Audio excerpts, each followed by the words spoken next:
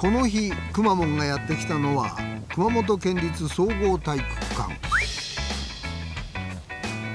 おなんかかっこいいユニフォームを着てますが。どれどれ？ウィメンズハンドボール2019なるほど。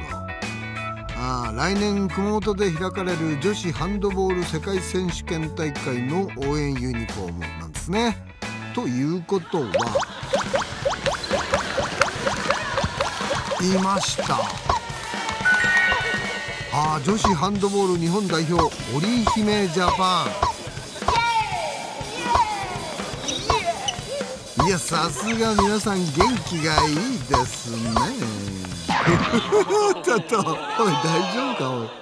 そしてこちらは監督さんですね。7人制ハンドボール発祥の国デンマーク出身です。そんな織姫ジャパンにくまモンが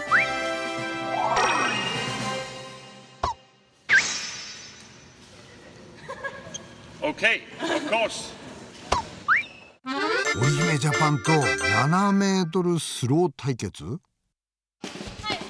メートルスローとはサッカーの PK みたいなやつかな？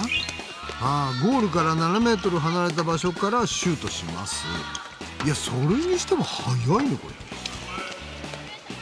えー、シュートは時速100キロを超えることもあるんだって。すごい音だよね。当たると痛そうだけどくまモン大丈夫かね ちょっと震えちゃってるわけ？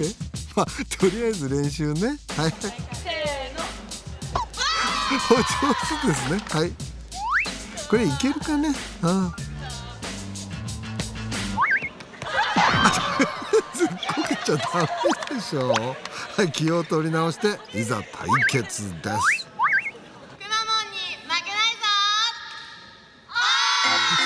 の行方は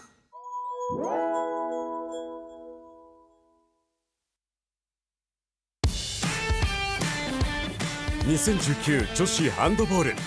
世界選手権大会熊本で開催。ハンドインハンド。一つのボールが世界を結ぶ。熊本で世界の頂点が決まる。